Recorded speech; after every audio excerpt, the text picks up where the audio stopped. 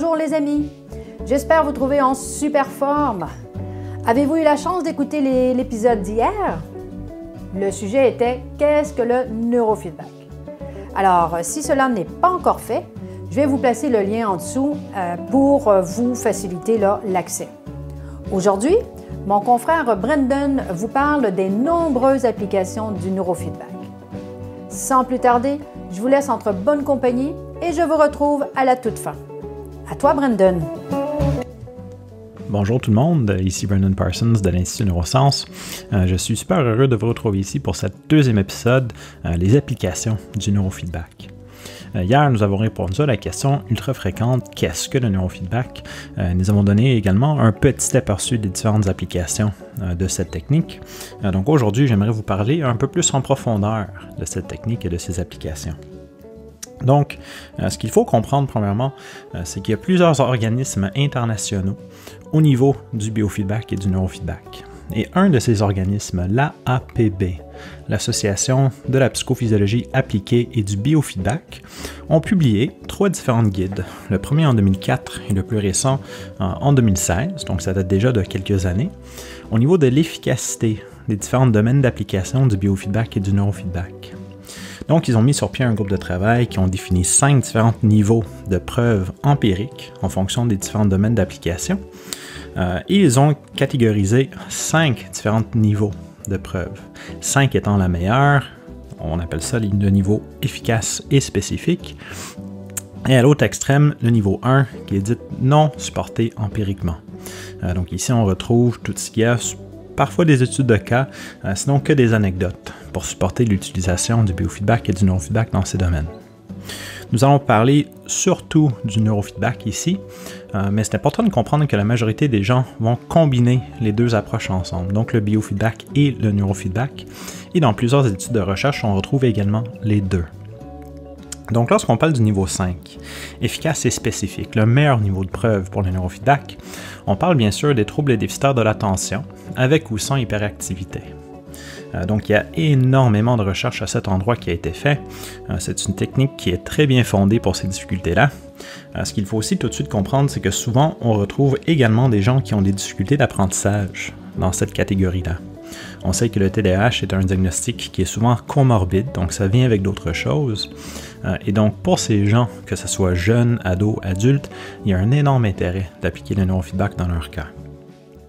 Sinon, au niveau 4, on peut parler de l'anxiété, des différents troubles anxieux, euh, tout comme les troubles dépressifs. On retrouve également l'épilepsie. Euh, très intéressant, la première application, la découverte du neurofeedback, s'est faite un peu par erreur dans le domaine de l'épilepsie. Euh, des choses très intéressantes pour ceux qui ne connaissent pas l'histoire. sinon aussi, on retrouve les maux de tête et les migraines. donc c'est quelque chose qui peut être ultra aidant à ce niveau-là, surtout lorsque combiné avec le biofeedback. Ensuite, niveau 3, euh, ce qui semble être probablement efficace. C'est-à-dire, on a plusieurs études qui démontrent de l'efficacité, euh, mais il manque de réplication, des études bien contrôlées, ce qui est très difficile à faire au niveau de la recherche. Euh, on retrouve ici tout ce qui est des troubles du spectre de l'autisme, l'alcoolisme et la toxicomanie, les troubles de sommeil et l'insomnie, les troubles de stress post-traumatique et tout ce qui est les commotions cérébrales ou traumatisme crânio-cérébral également. Euh, si on pousse un peu plus loin, c'est sûr qu'il y a beaucoup de différents champs d'application qui restent dites expérimentales. En fait, le neurofeedback est dit une technique surtout expérimentale. Ici, on retrouve tout ce qui est les troubles d'apprentissage, les déficiences intellectuelles, euh, les troubles obsessionnels compulsifs, la schizophrénie et les psychoses, par exemple, euh, tout ce qui est la bipolarité, les syndromes Gilles de la Tourette, les gens qui ont souffert d'un AVC, euh, ou qui ont une maladie neurodégénérative aussi. Il y a beaucoup, beaucoup euh, de gens qui commencent à souffrir énormément et le neurofeedback semble être une technique possiblement prometteur pour aider ces gens-là. Euh, ceux qui souffrent également des douleurs chroniques, des acouphènes ou de la fibromyalgie ou de la fatigue chronique, encore une fois. et tout ça sans mentionner par ailleurs tout ce qui est des applications de haut niveau, de maximiser l'efficacité cérébrale et le potentiel de quelqu'un.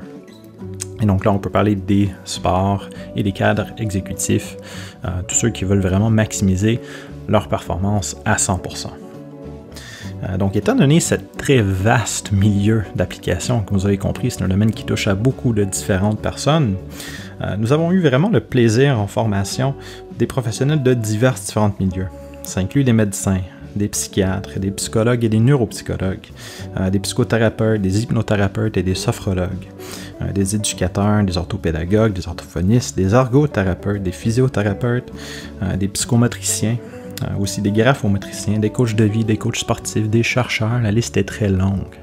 Euh, donc si jamais vous êtes parmi ces gens-là, ou même d'un autre milieu, euh, eh bien, ça nous ferait vraiment beaucoup plaisir de vous parler de l'application du non-feedback et de comment ça peut vous aider et surtout votre clientèle et votre patientèle, parce que c'est vraiment notre objectif. Merci beaucoup, Brandon, pour tout ce partage. Nous voilà à la toute fin de cette capsule. Si autour de vous, il y a un intérêt pour le sujet, alors n'hésitez surtout pas à partager et même à liker. Laissez-nous euh, vos commentaires juste en dessous. Nous vous répondrons, bien entendu, avec un grand plaisir. Pour ceux et celles qui désirent ne rien manquer, suivez-nous sur les réseaux sociaux, sur YouTube, Facebook, Instagram. Et nous avons pour euh, les professionnels de la santé, de l'éducation et de l'accompagnement un espace de discussion sur le groupe privé Facebook. Alors, euh, on se dit à demain pour une autre capsule. D'ici là, portez-vous bien et je vous souhaite une très belle fin de journée au nom de toute l'équipe de l'Institut Neurosciences. À demain!